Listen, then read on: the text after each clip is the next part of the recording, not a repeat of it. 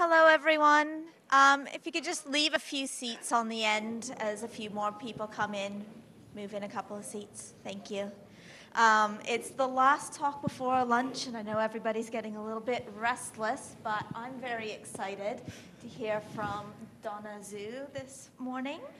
Um, Donna Zhou, sorry. Um, uh, Donna is a software engineer and loves public speaking. Donna has been performing stand up, improv, and sketch comedy for more than a decade. She believes every developer can be a confident public speaker. Thank you, Donna.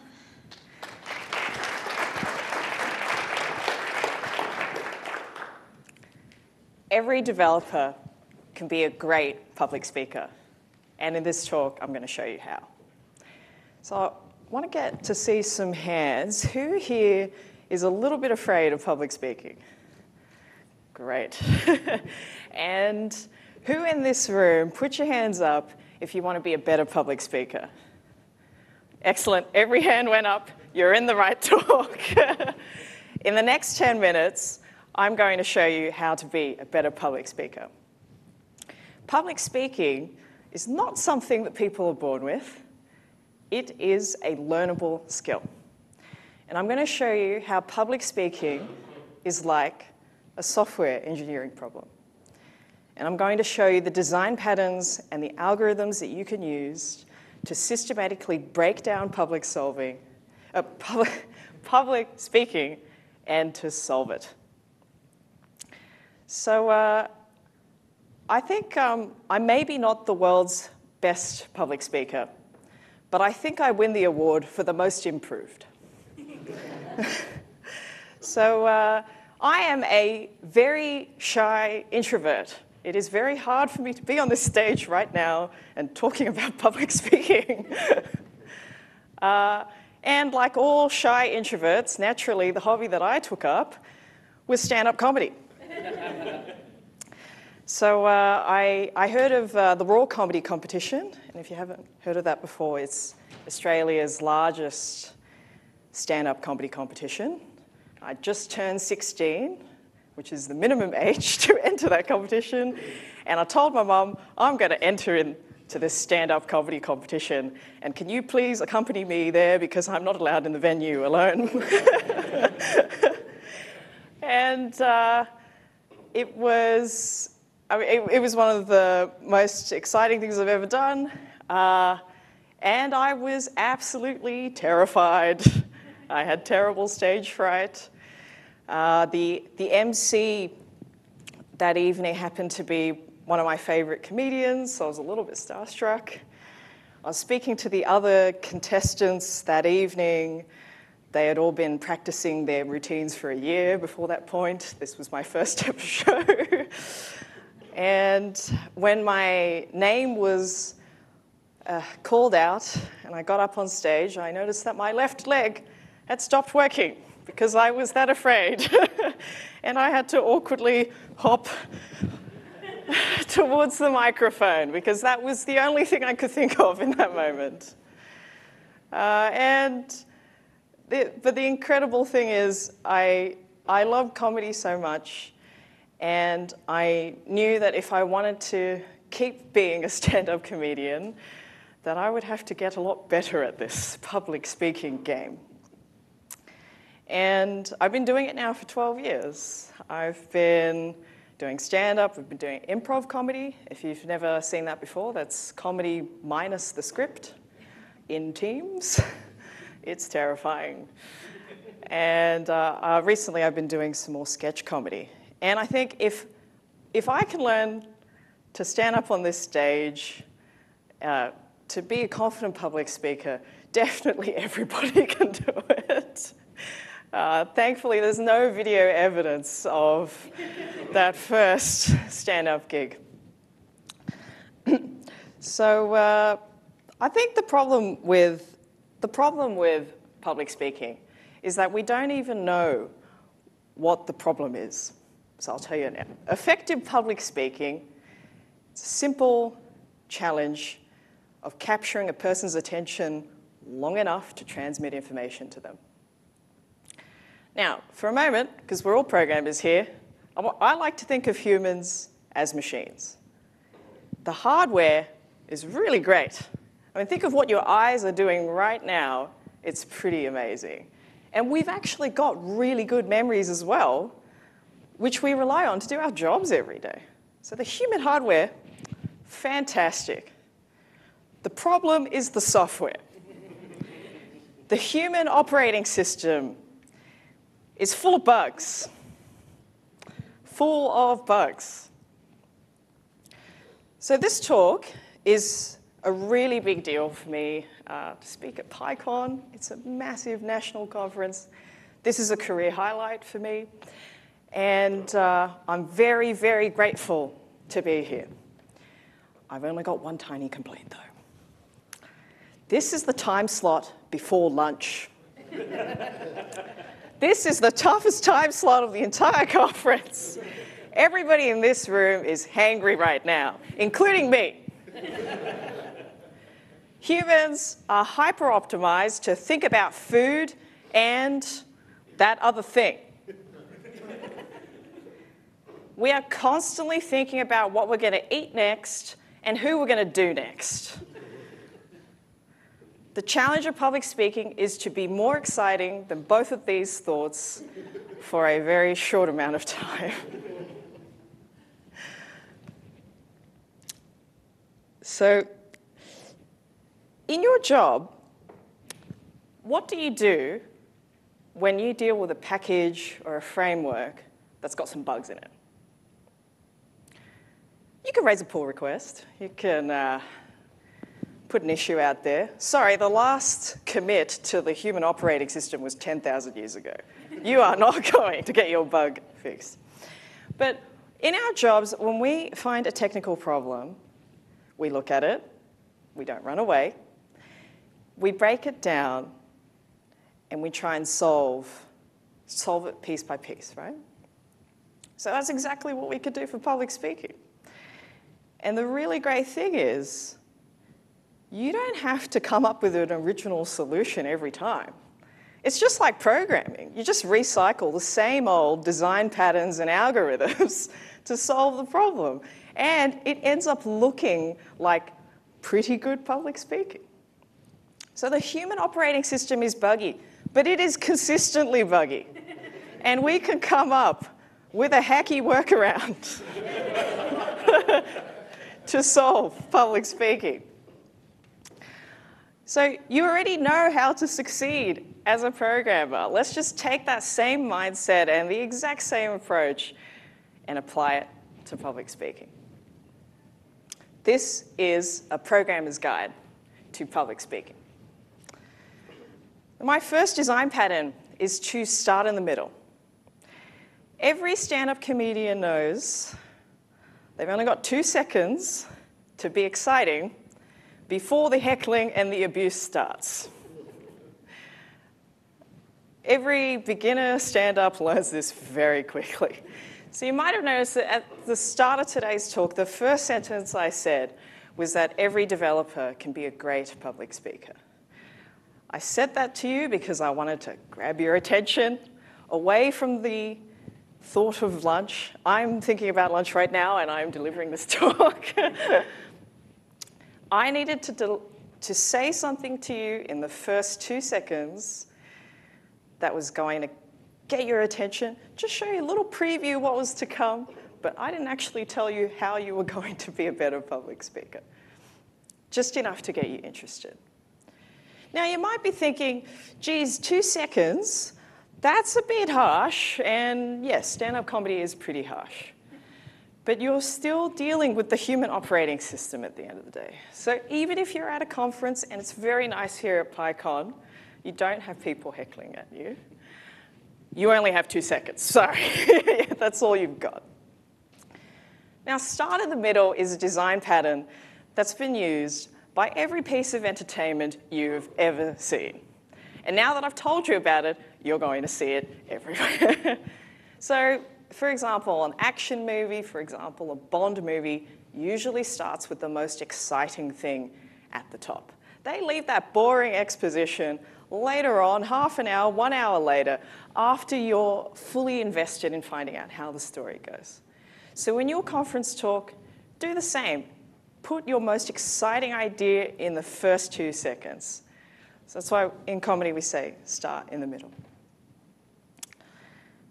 My second design pattern is to know your audience.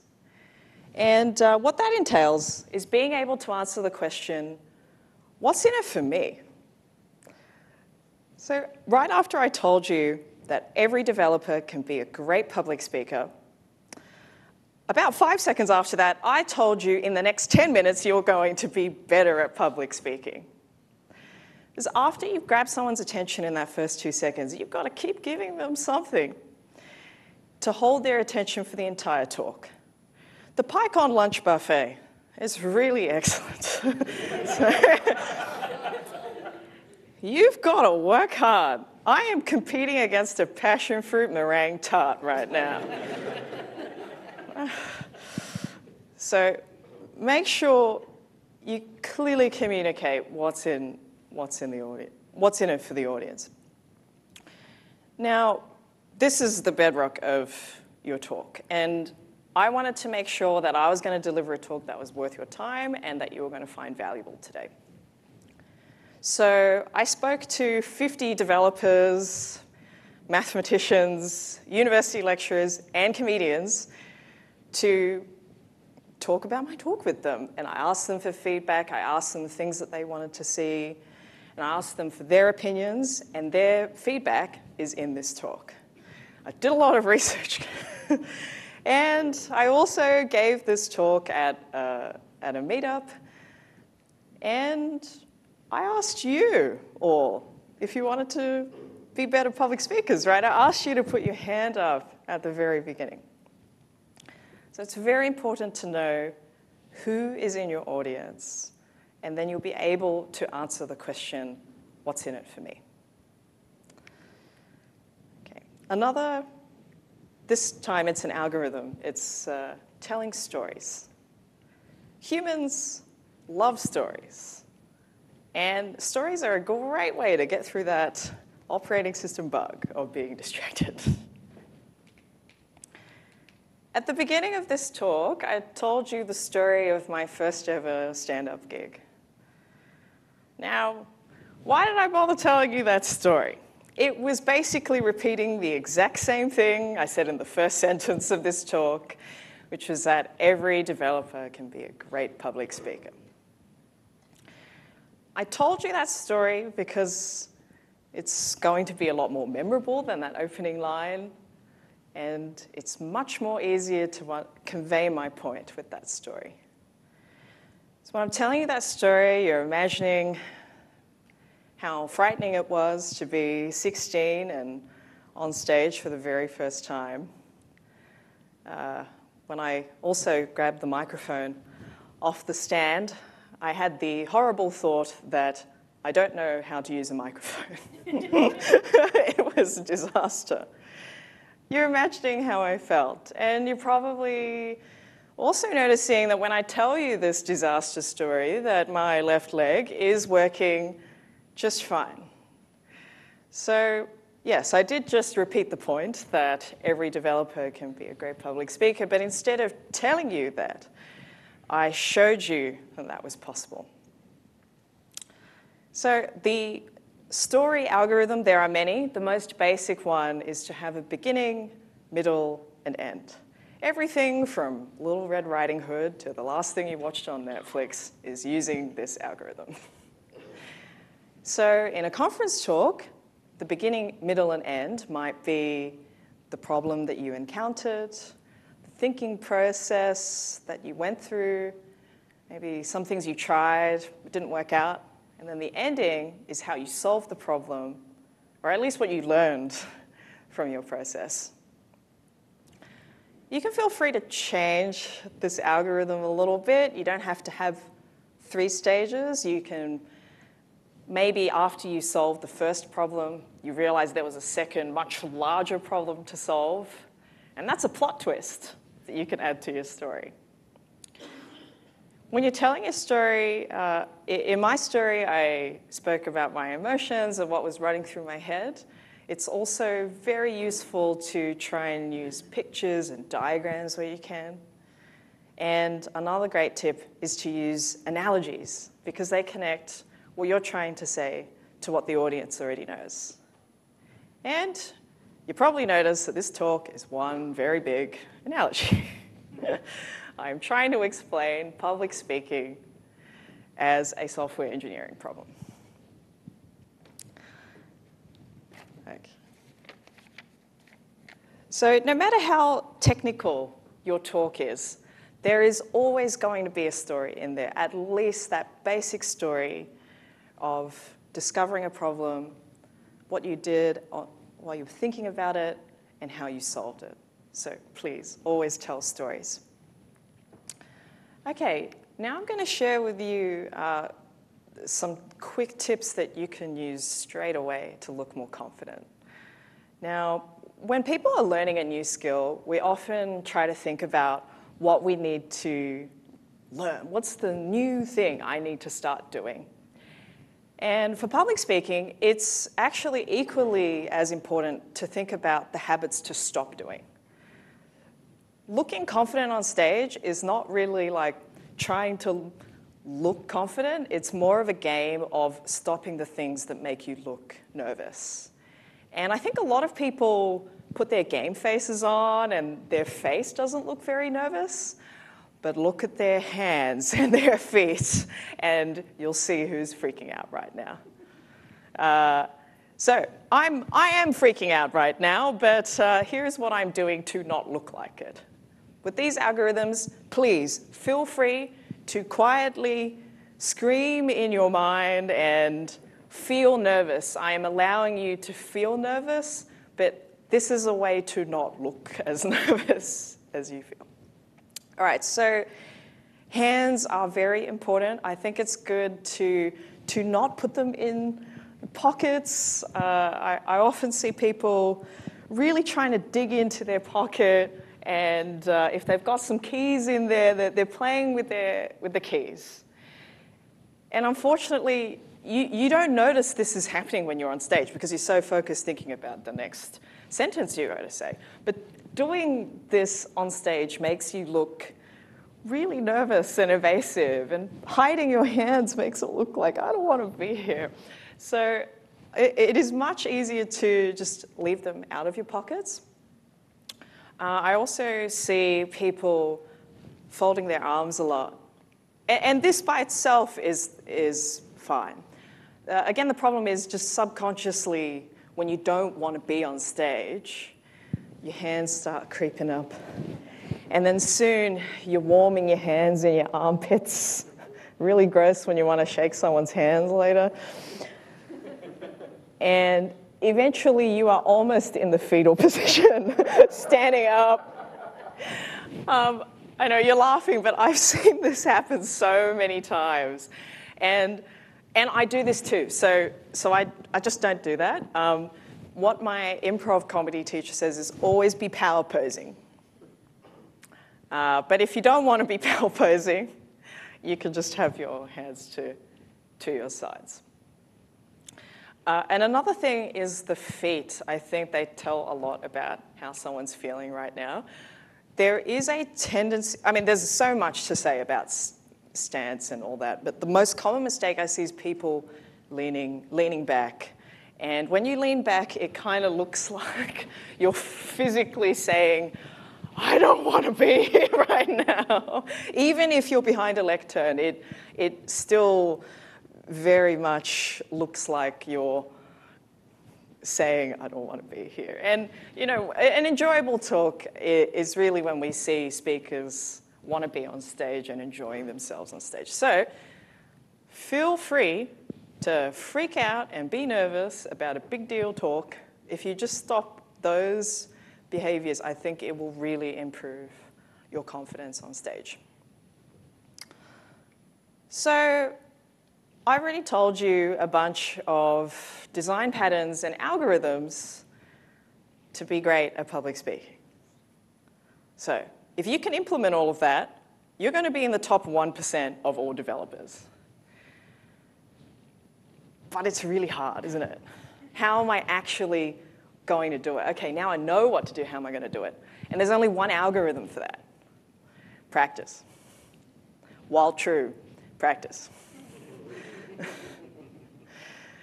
I'm, I'm only, I've only improved by doing a lot of gigs. So if you want to get better, you have to do the reps. Yeah, but it's really easy for me to say, yeah, just do the reps. Yeah, you just need to do this for 10 years and then you're going to be fine, right? Easy for me to say that now. I've already done it. how, how is anybody going to do the reps? The, the thing that's standing between us and great public speaking is just doing the reps. The problem is another human operating system bug. It is the self judgment in our minds. We're afraid of what people will think of us when we're on stage. So, this is something to remember. People want you to succeed. Think of the people who are at PyCon today. Think of the people sitting in this room right now learning about public speaking. We're all a bunch of big nerds. They've given up our Sunday mornings to talk about our favorite programming language. this is a friendly crowd, okay? The people here do not want to heckle you. The people here want you to have a good time. People here want to learn from you. Think about who you are. You're the expert on your topic. You've been working on something, you've been tinkering on something for a really long time, and you've been doing it for so long that you know more than any of us. And we really want to hear what you have to say. Yeah, but I say people want you to succeed, and then nobody believes me. People are like, yeah, yeah, but still, I'm afraid someone's going to judge me. I'm afraid someone's going to call me out as an imposter. So I'll tell you what stand ups do anyway, right? So you just know how to deal with hecklers, put in the back pocket, but you definitely won't have to use it at a conference uh, that's as supportive as this. What stand ups do when hecklers emerge is remember that you're in control. You're the one standing on stage, you're the one with the microphone. You have the power to tell that heckler to shut up. Or more nicely, can you please hold your question to the end of the Q&A, please? you have that power, and you have the power to move on to your next point. Do not try to think of a comeback because it will only lower your status. People here want you to succeed, and the people in the audience are on the speaker's side. So stay classy and just quickly move on. So, my advice is to be terrible.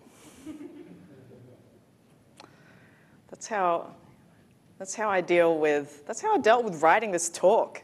I was freaking out writing this talk. Give yourself the permission to be terrible because nothing kills creativity like wanting to be good all the time. I think this talk is crap. Sorry, we're almost at the end of the talk, and I think it's, I think it's garbage. But I'm allowing myself to be garbage today.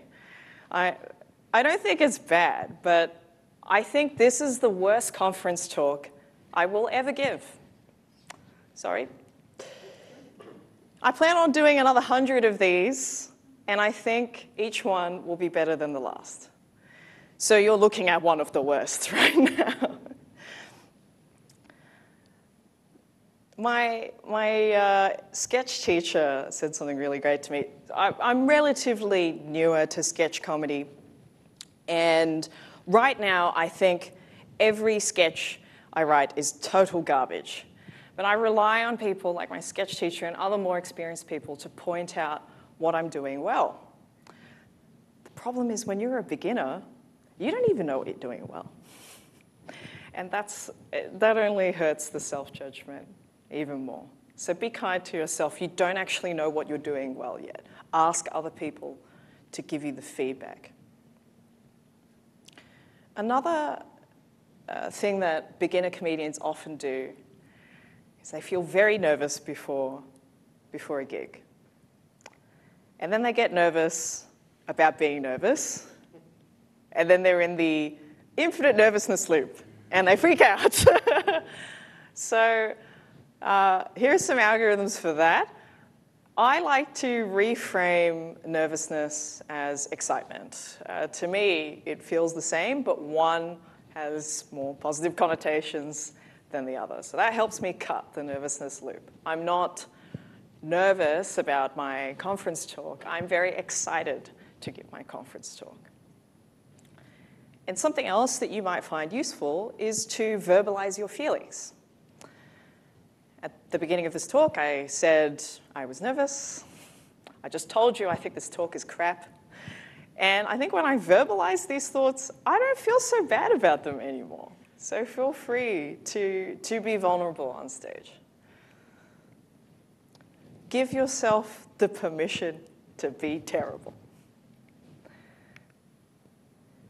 You are all good enough.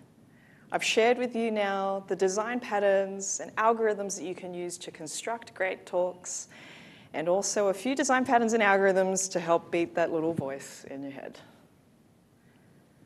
You are good enough to be on this stage. So please, please submit your talk idea for PyCon next year.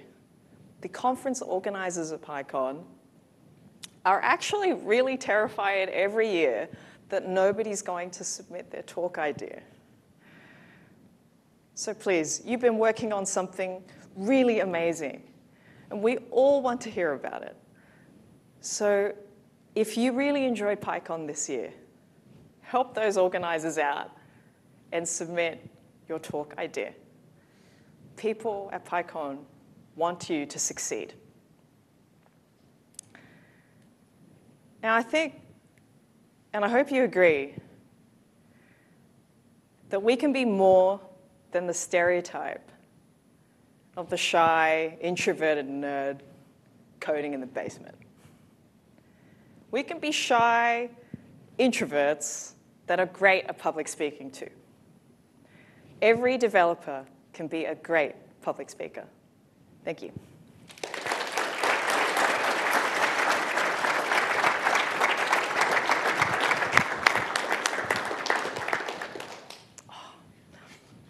Uh, Donna's not going to take any questions right now because of the whole lunch is very imminent thing. Uh, but yeah, I'm hangry. Mm. She said that you can come talk to her at lunchtime, but maybe just wait until both she and you have a plate of food in your hands. Thank you very much, Donna, Thank for your you talk. so Please give her another round of applause.